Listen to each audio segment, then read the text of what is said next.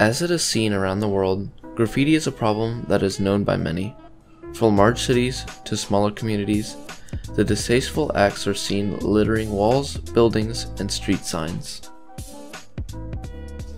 The problem that our team was presented with was from the city of South Daytona, where graffiti is becoming an increasing problem, especially seen on street signage.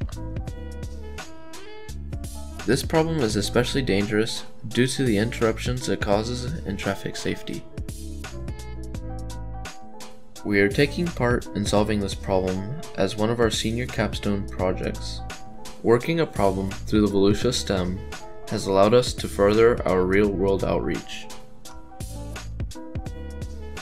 We were asked to produce our own solution to remove the spray paint that covers signs across South Daytona.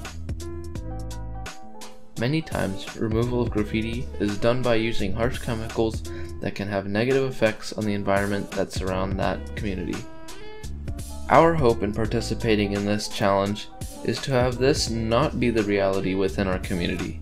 On top of finding a non-toxic solution, a cost-effective one is needed as well. Less money needed means the less time it will take to have a turnaround time for these signs. We worked on many different solutions to create the best possible product, but in the end, we settled on this one.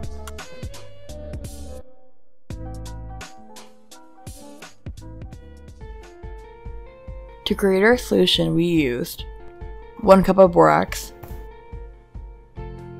1 cup of washing soda,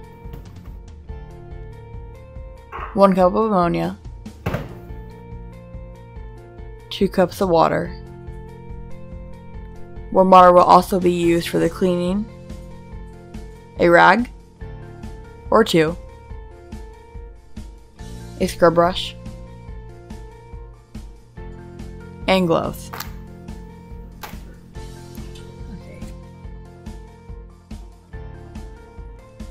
We applied our solution to the sign generously and allowed for a 30 minute period in which the cleaning solution could break down the spray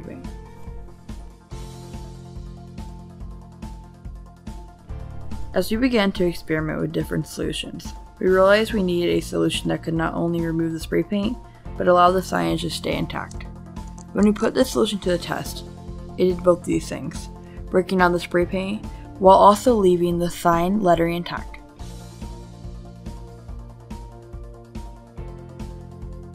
Always remember though, during this time, the person applying the chemicals should be wearing both protective eyewear and gloves to ensure their safety.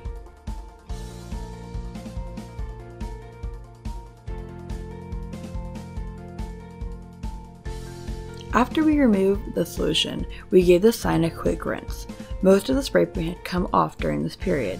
We then began to scrub away the remaining paint. Using warm water shows the best results when trying to remove with the solution. During our trials, we learned that this solution has many pros, but a few cons as well. This is a non-toxic solution that removes spray paint within the hour. The total cost to make a batch of it is a low price of 2 cents an ounce. Saying this though, we did run into a few problems, such as scrubbing too hard and scratching the reflective film off. And under the conditions of 60 degrees Fahrenheit, the solution is able to become frozen when not disturbed. With these observations, we have come to the conclusion that this is a cost-effective, non-toxic method, yet may not be the best for repairing these signs. With further research, we were able to test soft scrub bleach, a commercial item that was able to remove the spray paint more effectively, and cost was found as low as 12 cents an ounce. The solution is more accessible to public works and is a common product found in the workplace. But due to the project constraints, our solution compares closely to the soft scrub while also being more affordable.